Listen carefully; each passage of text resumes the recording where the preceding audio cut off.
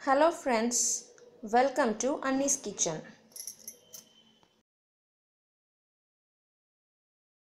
இன்றைக்கி நாம் ஈஸியாக மஷ்ரூம் மசாலா எப்படி செய்கிறதுன்னு பார்க்க போகிறோம் இது எப்படி செய்கிறதுன்னு பார்க்குறதுக்கு முன்னாடி இதுக்கு தேவையான பொருட்கள் என்னென்னு ஃபஸ்ட்டு பார்த்துடலாம் ஒரு பெரிய தக்காளி ரெண்டு மீடியம் சைஸ் வெங்காயம் கால் கிலோ அளவுக்கு மஷ்ரூம் ஒரு கொத்து கருவேப்பிலை ஒரு பச்சை மிளகாய் பொடி பொடியாக கட் பண்ணி வச்சுருக்கேன். ஒரு டேபிள் ஸ்பூன் அளவுக்கு இஞ்சி பூண்டு விழுது. ஒரு டேபிள் ஸ்பூன் அளவுக்கு கறி மசாலா பொடி கால் டீஸ்பூன் மஞ்சத்தூள் கால் டீஸ்பூன் ஜீரகம் கால் டீஸ்பூன் கடுகு உப்பு தேவையான அளவு.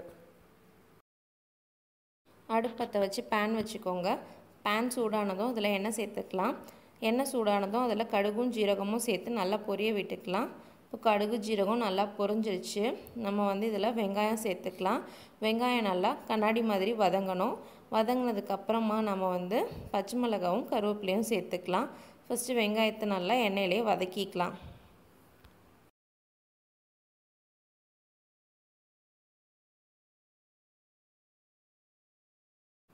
பாருங்கள் இப்போ வெங்காயம் நல்லா கண்ணாடி மாதிரி வதங்கிடுச்சு. இந்த ஸ்டேஜில் நம்ம பச்சை மிளகாவும் கருவேப்பிலையும் போட்டு நல்லா ரோஸ்ட் பண்ணிக்கலாம். ஒருவேளை அல்சர் பேஷண்ட்ஸ்லாம் இருந்தாங்க அப்படின்னா பச்சை மிளகா அவங்களுக்குலாம் சேராது. அதனால் பச்சை மிளகா சேர்க்காதீங்க. அதுக்கு பதிலாக நீங்கள் வரமிளகா போட்டுக்கோங்க. இல்லைனா வந்து மிளகாத்தூள் கூட நீங்கள் யூஸ் பண்ணிக்கலாம்.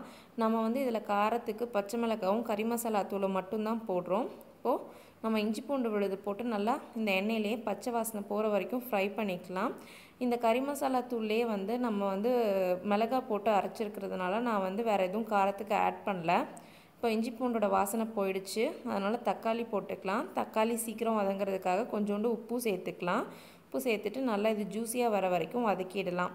இந்த கறி மசாலா தூள் வந்து நான் வீட்லேயே அரைச்சது தான். இதுக்கான ரெசிபி வந்து டிஸ்கிரிப்ஷன் பாக்ஸில் நான் ஷேர் பண்ணுறேன் நீங்கள் பார்த்து யூஸ் பண்ணிக்கோங்க. ஒருவேளை கடையில் வாங்கினதாக இருந்தால் அது டேஸ்ட்டுக்கு ஏற்ற மாதிரி நீங்கள் வந்து மிளகாத்தூளோ மிளகாவோ ஆட் பண்ணிக்கோங்க. இப்போது கறி மசாலா தூளும் மஞ்சத்தூளும் போட்டு நல்லா மிக்ஸ் பண்ணிக்கலாம். நல்லா மிக்ஸ் பண்ணிட்டோம். இப்போது நம்ம மஷ்ரூம்ஸ் போட்டுக்கலாம். மஷ்ரூம்ஸ் வந்து நல்லா பெருசு பெருசாக கட் பண்ணிக்கோங்க. அப்போ தான் வந்து அது வதங்கினாலும் ரொம்ப கரைஞ்சி போயிடாமல் நல்லா இருக்கும். கொஞ்சம் பெருசாக தெரியும். அதுக்காக தான் பெருசு பெருசாக கட் பண்ணிக்கிறோம். இதை மசாலாவில் நல்லா பரட்டிட்டு ஒரு ஃபைவ் மினிட்ஸ் மூடி வச்சு குக் பண்ணலாம்.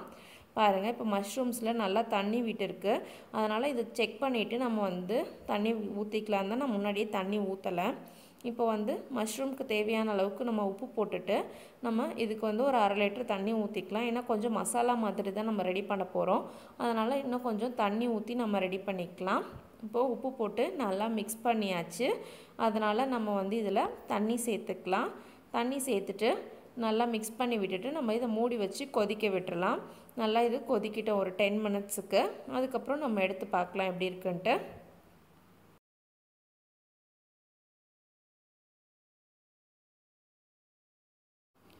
பாருங்கள் இப்போ மசாலா நல்லா ரெடி ஆகிடுச்சு நீங்கள் டேஸ்ட் பண்ணி பார்த்துட்டு உப்பும் காரமும் அட்ஜஸ்ட் பண்ணிக்கோங்க.